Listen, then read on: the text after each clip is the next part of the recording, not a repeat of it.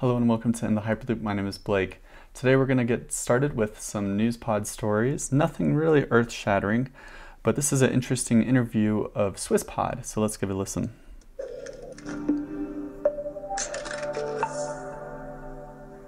Welcome to episode 184 of the Startup Show. Today I am meeting with the CEO and co founder of SwissPod, Dennis, and we are talking about the EPFL and the Hyperloop team. We're talking about SwissPod and, And how EPFL they is are no longer developing going to go to the, the last couple of months SpaceX pod upcoming months. And last but not least, we are talking about how Dennis met with the legendary Elon Musk and talked to him. And thank you so much for watching and stay tuned Anyway, for the video. I would really recommend you check out this uh, news pod, and we'll put a link to this uh, interview in the description.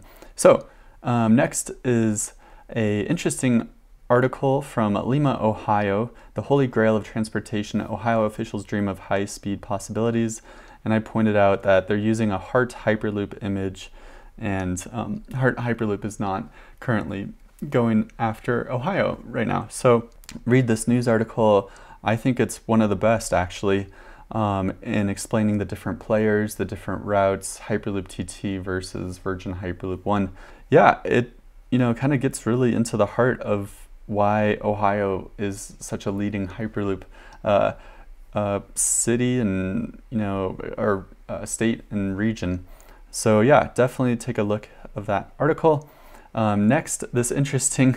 Um, article that gets more into the um, Pennsylvania part, right before Ohio, of how twists, turns, bridges, tunnels, and uh, complete Western Hyperloop projects. So, like, really interesting. It gets into saying, you know, our region is actually really hilly. Um, can the Hyperloop pod go up and down the hills?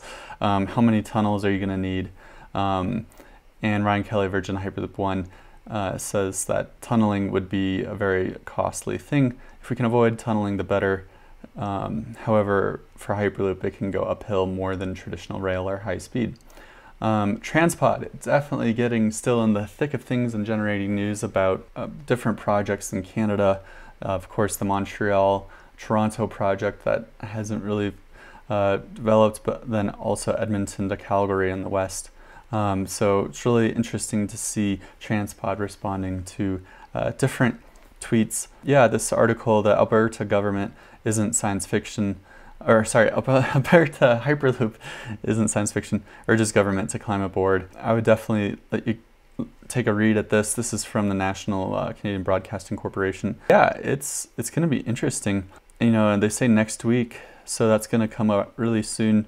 Um, and it's going to be really fascinating to see what the updated uh, proposition. Um, there was a feasibility done for this corridor by Transpod a long time ago, and um, now they're going to maybe refine it or scale it or maybe do test tracks, you know, for the Alberta um, Edmonton corridor. So that's really exciting.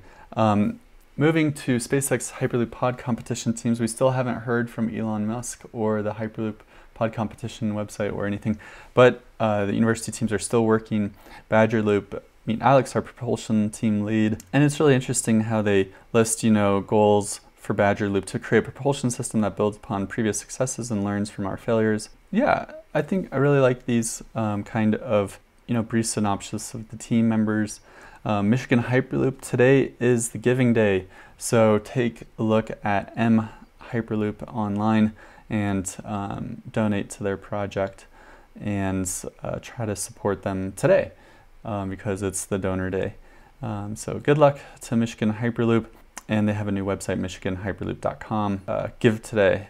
So, and they're doing a really good job being out in the community and talking about the team.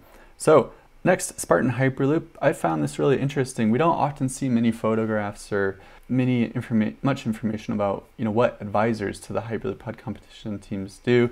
A lot of the you know team members get a lot of credit. A lot of the universities get credit, but then you need that connection between the team members and the university, and that's what an advisor does.